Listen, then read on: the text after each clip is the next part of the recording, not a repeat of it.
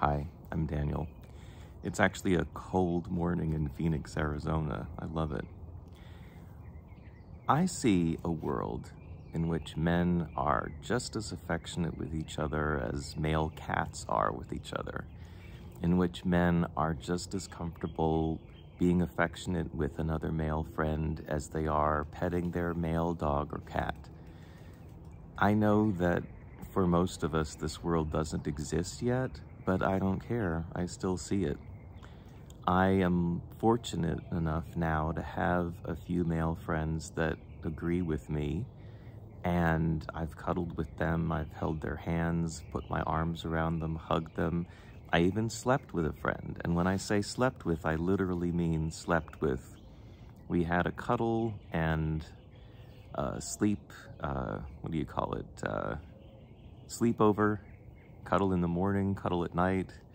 Um, you know, and it was wonderful. And uh, there was no sex involved, there was no kissing involved. It was just pure platonic cuddling.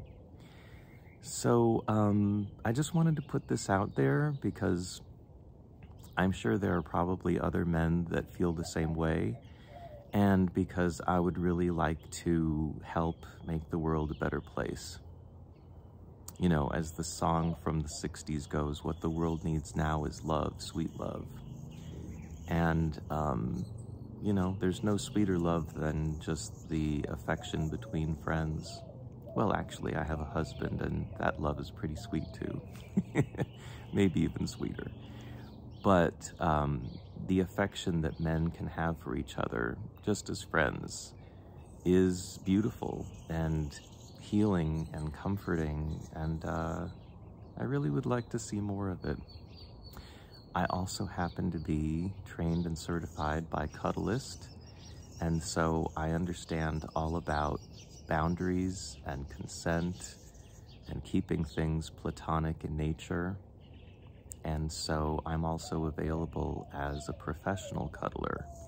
If any man would like to try cuddling with another man that he can trust, I'm that man.